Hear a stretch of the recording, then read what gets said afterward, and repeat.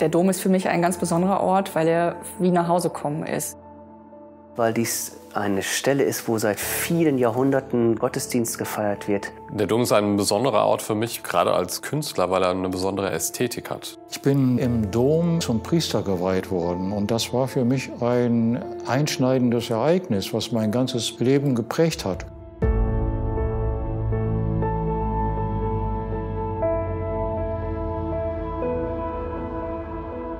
Die Petrusfigur im Eingang des Doms ist auch etwas ganz Besonderes, denn Petrus ist der Namensgeber des Doms. Wir sind ein Petrusdom, eine Peterskirche. Und sie ist auch deswegen etwas Besonderes, weil sie zu den modernen Figuren im Osnabrücker Dom gehört, wobei modern sehr relativ ist. Die Figur ist von 1980 und für viele junge Dombesucher ist das auch schon antik.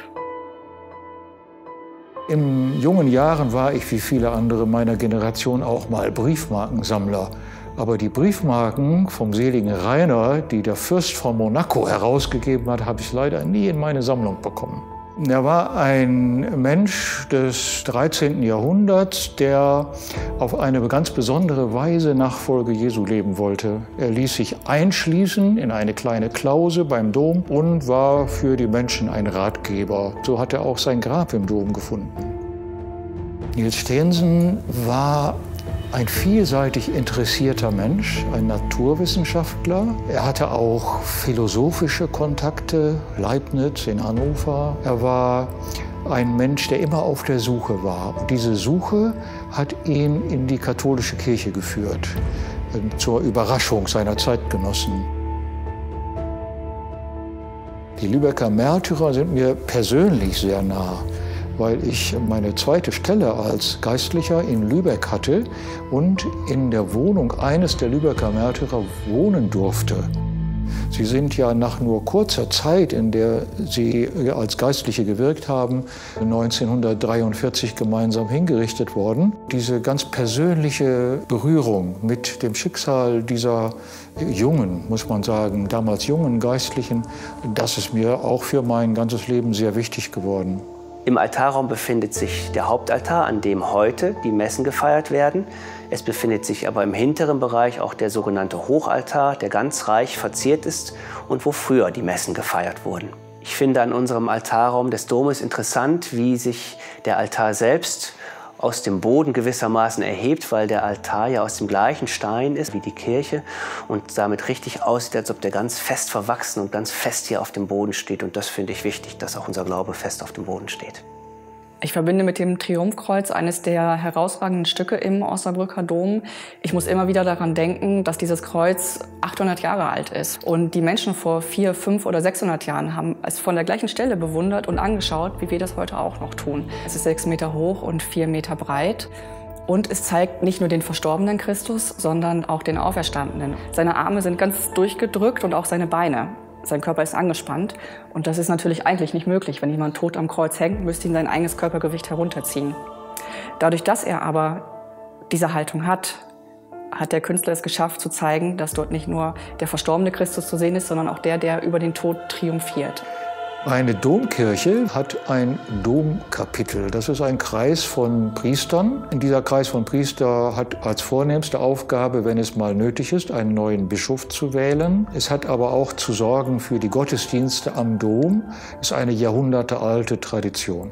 Und das Domkapitel hat die Plätze in diesem Chorgestühl. Den Bischofsstuhl erkennt man leicht, weil er besonders ausgestattet ist. Er trägt ja auch das Wappen des Bischofs. Der Bischofsstuhl wird auch mit dem Fachausdruck Kathedra genannt. Ähm, daher auch der Name Kathedrale. Und es ist eigentlich der Lehrstuhl des Bischofs. Es wird bei uns am Dom seit, ja, man kann sagen, seit gut 1000 Jahren auch Musik gemacht. Wir pflegen mit den Chören am Dom ein besonders breit gefasstes Repertoire. Es ist eben gerade auch spannend für die Sängerinnen und Sänger unserer Chöre, Musik in all ihren Facetten kennenzulernen und auch Musik, die für solche Räume auch komponiert wurden durch die Jahrhunderte. Die Orgel über dem Hauptportal ist noch gar nicht so alt, ist 2003 eingeweiht worden Und man kann mit dieser Orgel wirklich ganz, ganz tolle akustische Akzente in diesem Raum eben auch setzen. Es gibt eine zweite Orgel im Dom im Seitenschiff. Der Standort, wo diese Orgel steht, das ist auch genau der Standort, wo wir mit den Chören immer stehen, wenn wir in den Gottesdiensten singen. Das ist aber auch ein ganz besonderes Instrument. Diese Orgel stammt aus einer ganz berühmten Orgelwerkstatt aus Frankreich, die Werkstatt Moutin Cavalier Coll. Und wir sind sehr froh, dass wir eine dieser wenigen Instrumente, die noch existieren aus dieser Werkstatt, bei uns im Dom stehen haben. Der Kreuzgang ist einer der beliebtesten Orte und auch einer der meist frequentierten. Das Schöne ist, dass viele Menschen auch von der Straße in den Kreuzgang hineingehen. Das heißt, man muss gar nicht durch die Kirche gehen und viele nutzen das auch, diesen Zugang durch die Straße, um in den Kreuzgang zu gehen und einen Moment einfach Ruhe tanken. Wir sind ja mitten in der Stadt. Die große Straße, die Einkaufsstraße ist dort, die Busse fahren dort vorbei, Autos. Aber dort ist immer ein Moment der Stille und der Einkehr. Innerhalb des Kreuzgangs ist ja der Domherrenfriedhof. Und wenn ich dort an die Gräber trete, gibt es eine Reihe von Gräbern von Mitbrüdern, die ich gut gekannt hatte oder die mir in meinem Leben mal gute Begleiter waren. Zum Beispiel der Priester, äh, der in meiner Heimatkirche tätig war, als ich Kind war, an den ich von Kinderzeiten eine Erinnerung habe, war später hier Domkapitular und ist dort beigesetzt finde ich schön, einfach mal dort die Daten noch mal zu lesen und auch ein Gebet zu sprechen. Das Besondere an der Kapelle unter dem Turm ist, dass dort viele Menschen tagtäglich einkehren, um still zu werden. Die Kapelle unter dem Turm ist ein Ort, wo Menschen hinkommen, um eine Kerze anzuzünden. In der Kapelle hängt das Bild der Mutter Gottes mit dem Jesuskind auf dem Arm. Dieses Bild nennt man die immerwährende Hilfe. Und der Gedanke dabei ist, dass die Mutter Gottes eine Hilfe, eben eine immerwährende Hilfe für die Gläubigen sein soll. Das Besondere am Kreuzweg im Osnabrücker Dom ist, dass er nicht an der Außenseite ist, sondern an den Innenseiten der Pfeiler. Das hat man damals so gelöst, damit die Ruhe im Raum nicht gestört wird. Und das halte ich für eine ganz spannende Lösung. Das Besondere des Kreuzweges im Osnabrücker Dom ist, dass es nicht einfach Bilder sind, die an die Wand gehängt sind, sondern Bilder, die in die Säulen eingelassen sind.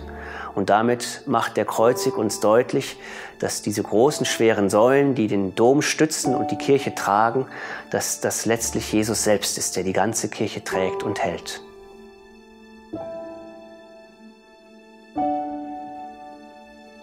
Die Marienkapelle ist ein besonderer Ort im Osnabrücker Dom. Unter der Kapelle befinden sich die Gräber der Osnabrücker Bischöfe. Es ist ein besonderes Recht der Bischöfe, dass sie in ihrer Kathedrale beerdigt werden dürfen. Und in manchen Kirchen gibt es eine Krypta, also unterirdische Räume, in die ich reingehen darf, die ich besichtigen kann. Das geht im Osnabrücker Dom nicht, aber der Ort ist durch eine Platte im Boden gekennzeichnet. Und ich sehe auch, wie viele Bestattungen dort schon stattgefunden haben. Es gibt elf Wappen an den Wänden und das verweist darauf, dass dort elf Bischöfe schon ihre letzte Ruhe gefunden haben. Das Glockengeläut am Osnabrücker Dom existiert in dieser Form seit 1954. Das sind Stahlglocken aus Gussstahl. Edelstahl. Die größte Glocke im Dom wiegt fast fünf Tonnen. Und in dieser Größenordnung sozusagen ein Instrument herzustellen, das sind Glocken ja, was dann auch äh, eben einen besonders schönen Klang hat, ist, ist wirklich eine besondere Herausforderung. Das ist ein wirklich besonderer, toller Klang, den man auch nur live so erleben kann.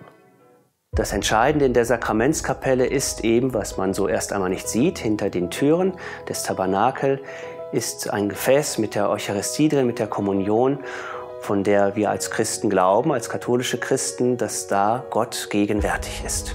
Ich mag die Sakramentskapelle sehr gerne, gehe da auch gerne hinein, weil es eine ganz kleine Kapelle ist, in diesem ganz großen Dom, ein kleiner Ort, wo man auch irgendwie sehr geschützt sein kann und ganz in Ruhe für sich beten kann.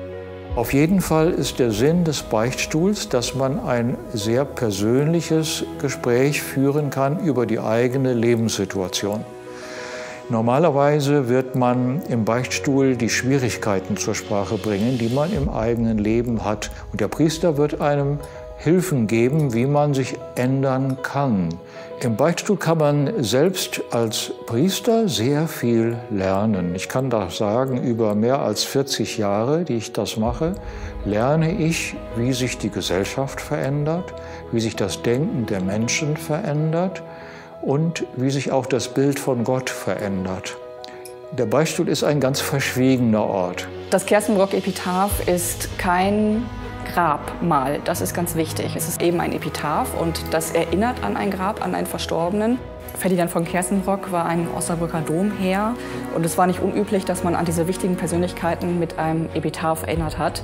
Das Schöne und Spannende an dem Epitaph ist, dass man es auch vom Altarraum im Osnabrücker Dom sieht und viele, auch Jugendliche, sind gleich ganz aufmerksam, wenn sie sich das anschauen und sagen, da ist ein Skelett. Vieles ist ja sehr fremd in der Kirche für immer mehr Menschen, aber das sind so Anhaltspunkte, um mit den Leuten auch ins Gespräch zu kommen. Ich finde das Taufbecken des Osnabrücker Domes recht ungewöhnlich. In den Kirchen, wo ich bisher tätig war, habe ich niemals ein solches Taufbecken gesehen.